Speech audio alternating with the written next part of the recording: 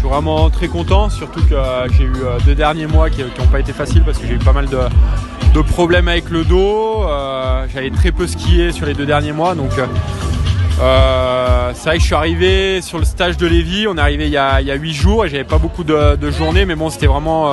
c'est une piste que j'aime. J'avais changé de matos et je me voyais pas ne pas être à la première, quoi. Ça aurait été trop dur, donc j'ai pris ce risque-là malgré tout. Et euh, voilà, ça s'est mis en place petit à petit dans la semaine, mais c'était encore quand même laborieux.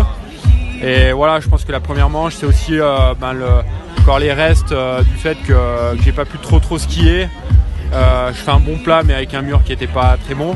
Et par contre, la dose, voilà, je, fais vraiment le ski sur lequel je travaille depuis deux ans, les évolutions que je cherche.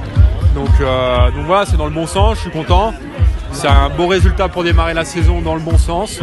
Euh, voilà, je vais déjà profiter